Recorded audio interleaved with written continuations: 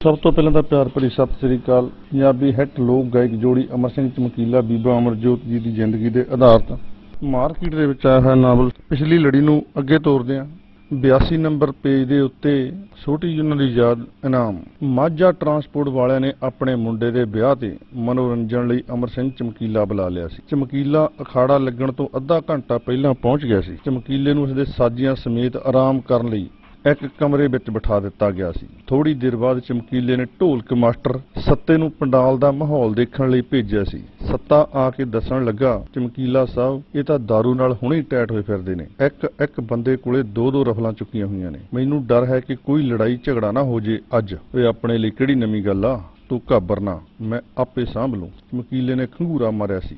ਐਨੇ ਨੂੰ programme book ਕਰਨ ਵਾਲੇ ਬੰਦਿਆਂ ਨੇ ਚਮਕੀਲੇ ਕੋਲ ਆ ਕੇ ਕਮਰੇ ਵਿੱਚ ਪੁੱਛਿਆ ਸੀ, ਹਾਂ ਬਈ ਚਮਕੀਲੇ, ਗੱਲ ਤਾਂ ਆਪਣੀ 3300 ਚ ਨਿਬੜੀ ਆ, ਪਰ ਤੂੰ ਵੀ ਕੀ ਯਾਦ ਰੱਖੇਗਾ ਬਈ ਕਿਸੇ ਟਰਾਂਸਪੋਰਟਰ ਦੇ ਖੜਾ ਲਾਇਆ ਸੀ? ਕਿ ਪੁੱਕੇ 5000 ਲੈਣੇ ਨੇ ਜਾਂ ਇਨਾਮ ਲੈਣੇ ਆ? ਉਹਨਾਂ ਦੀ ਗੱਲ ਸੁਣ ਕੇ ਚਮਕੀਲਾ ਕੁਝ ਸੋਚਣ ਲੱਗ ਪਿਆ ਸੀ। ਕੁਝ ਦੇਰ ਚੁੱਪ ਰਹਿਣ ਤੋਂ ਬਾਅਦ ਉਹ ਬੋਲਿਆ ਸੀ, ਇੱਕ ਮਿੰਟ, ਤੁਹਾਨੂੰ ਮੈਂ ਸਲਾਹ ਕਰਕੇ ਦੱਸਦਾ ਬਾਈ ਜੀ। ਅਮਰਜੋਤ ਨੂੰ ਇੱਕ ਪਾਸੇ ਲਿਜਾ ਕੇ ਚਮਕੀਲੇ ਨੇ ਹੌਲੀ ਜਿਹੀ ਪੁੱਛਿਆ ਸੀ, ਕਿਵੇਂ ਕਰੀਏ ਬੱਬੀ? 5000 ਲੈ ਲਈਏ ਕਿ ਇਨਾਮ ਲੈ ਲਈਏ? ਤੁਸੀਂ ਆਪੇ ਹੀ ਦੇਖ ਲਓ। ਅੱਗੇ ਕਦੇ ਮੈਂ ਪੈਸੇ ਦੇ ਮਾਮਲੇ ਵਿੱਚ ਦਖਲ ਦਿੱਤਾ, ਆਪਾਂ ਨੂੰ ਹਮੇਸ਼ਾ ਪੇਮੈਂਟ ਨਾਲੋਂ ਜ਼ਿਆਦਾ ਇਨਾਮ ਹੀ ਇਕੱਠੇ ਹੁੰਦੇ ਨੇ। ਇਨਾਮ ਲੈ ਲਵੋ। ਜੇ ਇਨਾਮ ਘੱਟ ਹੋਏ ਤਾਂ ਇਹ ਜਿਹੜਾ 5000 ਦਿੰਦੇ ਆ, ਉਹਦੇ ਤੋਂ ਵੀ ਨਾ ਜਾਈਏ। ਚਮਕੀਲੇ ਨੇ ਆਪਣਾ ਖਦਸ਼ਾ ਪ੍ਰਗਟ ਕੀਤਾ ਸੀ। ਚੱਲ ਦੇਖ ਲਓ, ਜਿਵੇਂ ਮਰਜ਼ੀ ਕਰ ਲਓ। ਉਹਨਾਂ ਦੀ ਗੱਲ ਕਰਦਿਆਂ ਤੋਂ ਚਮਕੀਲੇ ਦੇ ਦਫ਼ਤਰ ਦਾ ਕਲਰਕ ਤੇ ਸਾਜੀ ਕੋਲੀ ਕੋਲ ਜਾ ਕੇ ਚਮਕੀਲੇ ਨੂੰ ਕਹਿਣ ਲੱਗੇ, ਬਾਈ ਜੀ, ਮੈਂ ਤਾਂ ਕਹਿਣਾ ਆਪਾਂ 5000 ਲੈ ਲਈਏ। ਇਹਨਾਂ ਸ਼ਰਾਬੀਆਂ ਦਾ ਕੀ ਪਤਾ? ਇਨਾਮਾਂ ਦੇ ਲਾਲਚ ਵਿੱਚ ਪੇਮੈਂਟ ਤੋਂ ਵੀ ਨਾ ਜਾਈਏ। ਹੂੰ, ਹੰਗਾਰਾ ਭਰ ਕੇ ਚਮਕੀਲਾ ਜਕਾਂ ਤਕਾਂ ਜੀਆਂ ਕਰਦਾ ਟਰਾਂਸਪੋਰਟਰਾਂ ਕੋਲ ਚਲਾ ਗਿਆ ਸੀ। ਹਾਂ, ਫਿਰ ਚਮਕੀਲਾ ਕੀ ਸੋਚਿਆ? ਚਮਕੀਲਾ ਹੱਥ ਜੋੜ ਕੇ ਉਹਨਾਂ ਕੋਲ ਆਇਆ, ਮਾਲਕੋ, ਮੈਂ ਕਦੇ ਪੈਸੇ ਦਾ ਲਾਲਚ ਨਹੀਂ ਕੀਤਾ। ਬਸ ਤੁਸੀਂ ਰੂਹ ਨਾਲ ਪ੍ਰੋਗਰਾਮ ਸੁਣ ਲਵੋ, ਇਹੀ ਬਹੁਤ ਹੈ। ਫਿਰ ਪੇਮੈਂਟ ਦੇਣੀ ਆ ਜਾਂ ਇਨਾਮ ਦੇਣੇ ਆ, ਜਿਵੇਂ ਤੁਹਾਨੂੰ ਠੀਕ ਲੱਗਾ, ਕਰ ਦੇਣਾ। ਸਾਡਾ ਰੋਜ਼ਗਾਰ ਆ ਵੀਰੇ, ਬਸ ਇੰਨਾ ਕੁ ਖਿਆਲ ਰੱਖਿਓ। ਚਮਕੀਲੇ ਨੇ ਅਖਾੜਾ ਲਾਇਆ। ਪ੍ਰੋਗਰਾਮ ਵਿੱਚ ਕੋਈ ਕਿਸੇ ਕਿਸਮ ਦੀ ਖਰਾਬੀ ਨਾ ਹੋਈ ਤੇ ਅਖਾੜੇ ਉਪਰੰਤ ਮਾਝਾ ਟਰਾਂਸਪੋਰਟ ਵਾਲੇ ਆਏ ਤੇ ਚਮਕੀਲੇ ਨੂੰ 5000 ਰੁਪਇਆ ਅਤੇ ਸਟੇਜ ਤੋਂ ਇਕੱਠੇ ਹੋਏ ਨਾਮਾਂ ਵਾਲਾ ਥੈਲਾ ਦੇ ਕੇ ਕਹਿਣ ਲੱਗੇ, ਲੈ ਵੀ ਚਮਕੀਲਿਆ ਆ ਤੇਰੇ 4500 ਬਕਾਇਆ 500 ਸਾਈ ਦੇ, ਤੇਰੇ ਵੱਲ ਆਏ ਹੋਏ ਨੇ। ਬਾਕੀ ਆ ਚੱਕ ਕਾਪੀ ਹਿਸਾਬ ਦੇਖ ਲੈ ਸਾਰੇ ਇਨਾਮ ਵੀ ਤੇਰੇ। ਸਾਡੇ ਲਈ ਤਾਂ ਇੰਨਾ ਹੀ ਬਹੁਤ ਆ ਕਿ ਤੈਂ ਸਾਡੇ ਮੁੰਡੇ ਦੇ ਵਿਆਹ ਤੇ ਗਾ ਕੇ ਲੋਕਾਂ ਵਿੱਚ ਸਾਡੀ ਝੰਡੀ ਕਰ ਧਰਮ ਨਾਲ ਨਜ਼ਾਰਾ ਆ ਗਿਆ। ਤੇਰਾ ਖਾੜਾ ਲਵਾ ਕੇ। ਤੁਹਾਨੂੰ ਮੇਰੀ ਗਾਇਕੀ ਪਸੰਦ ਆਈ। ਮੇਰਾ ਤਾਂ ਸਭ ਤੋਂ ਵੱਡਾ ਇਨਾਮ ਇਹੀ ਆ। ਚਮਕੀਲੇ ਦੇ ਚਿਹਰੇ ਉੱਤੇ ਖੁਸ਼ੀ ਚਮਕਦੀ ਪ੍ਰਤੱਖ ਦੇਖੀ ਜਾ ਰਹੀ ਸੀ। ਦੋਸਤੋ, ਨਾਲ ਹੀ ਉਹਨਾਂ ਦੀ ਇੱਕ ਨਿੱਕੀ ਜੀ ਹੋਰ ਯਾਦ 83 ਨੰਬਰ ਪੇਜ ਦੇ ਉੱਤੇ, ਅਮੀਰੀ ਤੇ ਫਕੀਰੀ। ਪੰਜਾਬ ਵਿੱਚ ਖਾੜਕੂ ਲਹਿਰ ਜ਼ੋਰਾਂ ਤੇ ਜਾ ਰਹੀ ਸੀ। ਗੁਰਦਾਸ ਮਾਨ ਉਹਨਾਂ ਦਿਨਾਂ ਵਿੱਚ ਬੰਬਈ ਖਿਸਕ ਗਿਆ ਸੀ। ਹੋਰ ਕਈ ਗਾਇਕ ਦਿੱਲੀ, ਰਾਜਸਥਾਨ ਜਾਂ ਪੰਜਾਬ ਤੋਂ ਬਾਹਰ ਖਿਲਰਨੇ ਸ਼ੁਰੂ ਹੋ ਗਏ ਸਨ। ਪੰਜਾਬ ਵਿੱਚ ਰਹਿ ਰਹੇ ਕਲਾਕਾਰਾਂ ਨੇ ਪ੍ਰੋਗਰਾਮ ਕਰਨੇ ਬੰਦ ਕਰ ਦਿੱਤੇ ਸਨ। ਕਾਫੀ ਹੱਦ ਤੱਕ ਘਟਾ ਦਿੱਤੇ ਸਨ। ਮੁਹੰਮਦ ਸਦੀਕ ਨੇ ਆਟੇ ਵਾਲੀ ਚੱਕੀ ਲਾ ਲਈ ਸੀ। ਕਿਸੇ ਨੇ ਚਾਹ ਦੀ ਦੁਕਾਨ ਕਰਨੀ ਸ਼ੁਰੂ ਕਰ ਦਿੱਤੀ ਸੀ ਤੇ ਕੋਈ ਖੇਤੀ ਕਰਨ ਲੱਗ ਪਿਆ ਸੀ। ਇੱਕ ਦੌਰ ਇੰਨਾ ਨਾਜ਼ੁਕ ਆਇਆ ਸੀ ਕਿ ਅਮਰ ਸਿੰਘ ਚਮਕੀਲਾ ਵੀ ਅਮਰਜੋਤ ਨੂੰ ਲੈ ਕੇ ਦਿੱਲੀ ਸੰਗੀਤਕਾਰ ਚਰਨਜੀਤ ਹੂਜਾ ਦੇ ਘਰ ਪੂਰਾ ਇੱਕ ਮਹੀਨਾ ਰਿਹਾ। ਪਰ ਉਸ ਅੰਦਰ ਕੁਰਬਲ ਕੁਰਬਲ ਕਰਦਾ ਸੰਗੀਤ ਉਸ ਨੂੰ ਟਿਕਣ ਨਹੀਂ ਸੀ ਦੇ ਰਿਹਾ। ਚਮਕੀਲਾ ਵਾਪਸ ਪੰਜਾਬ ਆ ਗਿਆ। ਉਹਨੇ ਦੁਬਾਰਾ ਆ ਕੇ ਪ੍ਰੋਗਰਾਮ ਲਾਉਣੇ ਸ਼ੁਰੂ ਕਰ ਦਿੱਤੇ ਸਨ। ਕਲਾਕਾਰਾਂ ਦੀ ਘਾਟ ਤੇ ਚਮਕੀਲੇ ਦੀ ਆਪਣੀ ਚੜ੍ਹਤ ਕਾਰਨ ਉਸ ਨੂੰ ਪ੍ਰੋਗਰਾਮਾਂ ਦੀ ਝੜੀ ਲੱਗ ਗਈ ਸੀ। ਚਮਕੀਲਾ ਅੰਨੇ ਵਾਹ ਖਾੜੇ ਲਾਉਣ ਲੱਗ ਪਿਆ ਸੀ। ਇੱਕ ਪ੍ਰੋਗਰਾਮ ਉੱਪਰ ਗਏ ਚਮਕੀਲੇ ਨੂੰ ਕਈ ਕਈ ਪ੍ਰੋਗਰਾਮ ਬੁੱਕ ਹੋ ਜਾਂਦੇ ਸਨ। ਚਮਕੀਲਾ ਦਿਹਾੜੀ ਦੇ ਦੋ ਦੋ ਤਿੰਨ ਤਿੰਨ ਪ੍ਰੋਗਰਾਮ ਲਾਉਣ ਲੱਗ ਪਿਆ ਸੀ। ਬੇਸ਼ੱਕ ਚਮਕੀਲਾ ਬਾਕੀ ਦੇ ਗਾਇਕਾਂ ਨਾਲੋਂ ਜ਼ਿਆਦਾ ਮਿਹਨਤਦਾਨਾ ਲੈਂਦਾ ਸੀ, ਲੇਕਿਨ ਮਿਹਨਤਦਾਨੇ ਨਾਲੋਂ ਕਈ ਗੁਣਾ ਵੱਧ ਪੈਸੇ ਚਮਕੀਲੇ ਨੂੰ ਸਟੇਜ ਉੱਪਰੋਂ ਹੋ ਜਾਂਦੇ ਸਨ।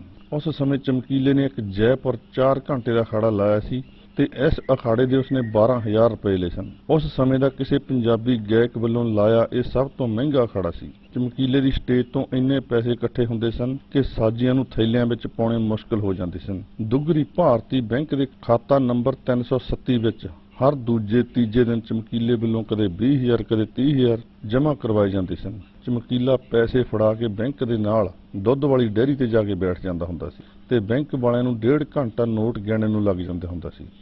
ਇੱਕ ਵਾਰ ਚਮਕੀਲਾ 70000 ਰੁਪਇਆ ਲੈ ਕੇ ਬੈਂਕ ਨੂੰ ਗਿਆ।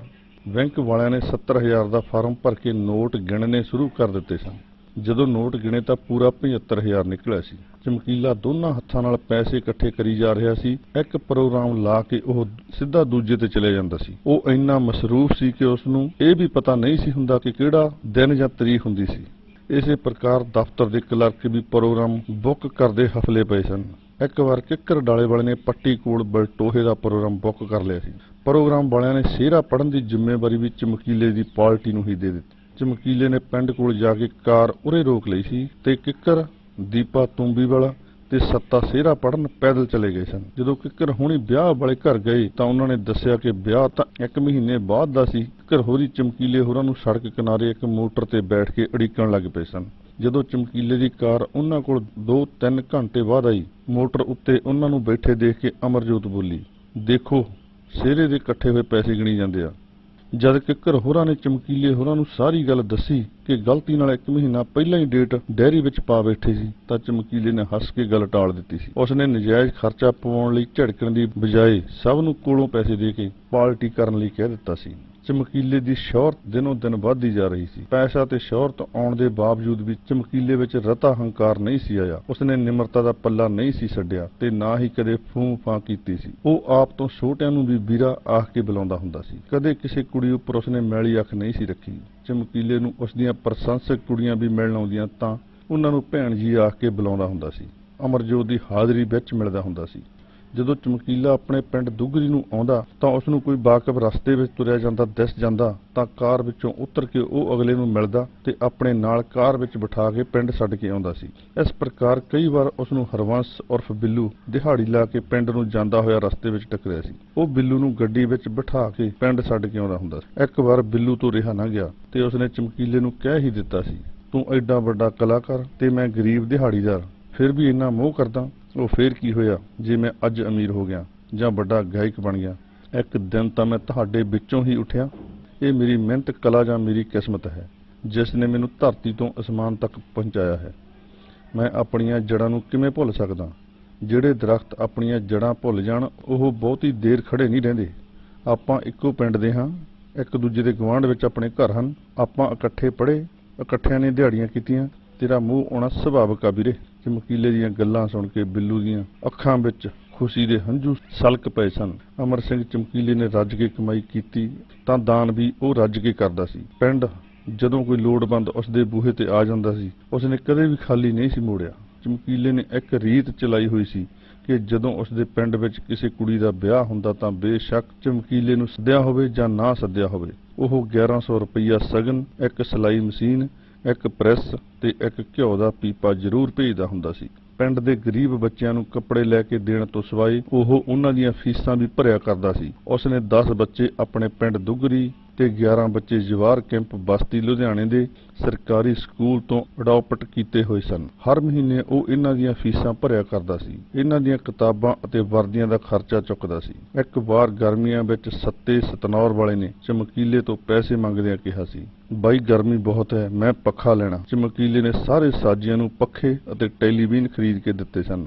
ਇਸ ਤੋਂ ਇਲਾਵਾ ਜਦ ਵੀ ਕੋਈ ਉਸ ਤੋਂ ਪੈਸੇ ਮੰਗਦਾ, ਉਹ ਦਿਲ ਖੋਲ ਕੇ ਦਿਆ ਕਰਦਾ ਸੀ। ਜਦੋਂ ਚਮਕੀਲਾ ਆਪਣੇ ਦਫ਼ਤਰ ਆਉਂਦਾ ਤਾਂ ਸਭ ਤੋਂ ਪਹਿਲਾਂ ਬੱਸ ਅੱਡੇ ਕੋਲ ਇੱਕ ਪਾਲਸ ਵਾਲੇ ਤੋਂ ਜੁੱਤੀ ਪਾਲਸ ਕਰਾ ਕੇ 2 ਰੁਪਏ ਦੇ ਬਜਾਏ ਉਸ ਨੂੰ 10 ਰੁਪਏ ਦੇ ਦਿਆ ਕਰਦਾ ਸੀ। ਚਮਕੀਲੇ ਨੇ ਅਮੀਰ ਹੋ ਕੇ ਵੀ ਗਰੀਬੀ ਨਹੀਂ ਸੀ ਵਿਸਾਰੀ। ਉਹ ਇੱਕ ਅਮੀਰ ਫਕੀਰ ਸੀ।